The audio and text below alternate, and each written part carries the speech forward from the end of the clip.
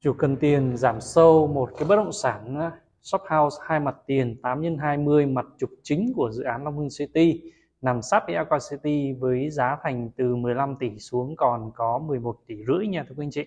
Và chúng ta đang ở ngay trước mặt tiền của cái căn shop house này. Căn shop house 8 x 20 hai mặt tiền đường đằng trước là 45 m và chỉ cách Aqua City là khoảng cỡ 100 m thôi à, anh chị có thể nhìn thấy hướng xa xa những căn nhà mà đang xây dựng đó. Thì chỉ trong khoảng có 100 mét thôi là anh chị đã đến Aqua City rồi. Và cái mặt trước của cái căn nhà này là một cái tuyến đường rất là rộng đường 45 mét.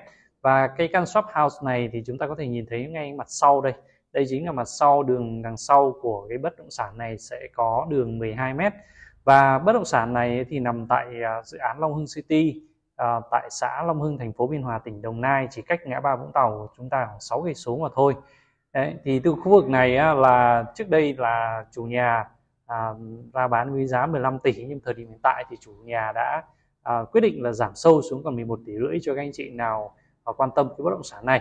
Và phía bất động sản này là hoàn thiện mặt ngoài phần trong bên bên trong là thô như chúng ta đang nhìn thấy ở đây nha thưa quý anh chị. Nhà sạch đẹp nhà mới sạch đẹp rất là đẹp luôn nha thưa quý anh chị.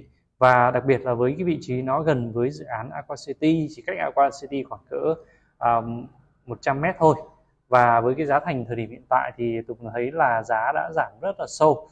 Và anh chị hoàn toàn có thể quan tâm mua để sở hữu bất động sản này để ở hoặc là um, để sau này chúng ta có thể kinh doanh cũng như cho thuê rất là thuận tiện nha thưa anh chị.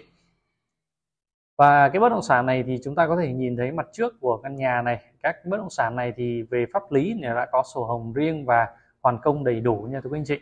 Đấy, anh chị hoàn toàn có thể vay ngân hàng hoặc là chúng ta hoàn toàn yên tâm. Đấy, uh, khu vực này thì rất là sạch đẹp thoáng mát. Đấy, đằng trước của chúng ta được 45 m cực kỳ rộng luôn thưa quý anh chị. Và tiếp theo thì chúng ta sẽ đi đến khu vực đằng sau để của ngôi nhà. Đây view đằng sau của ngôi nhà đây. Rất là đẹp rất là thoáng luôn.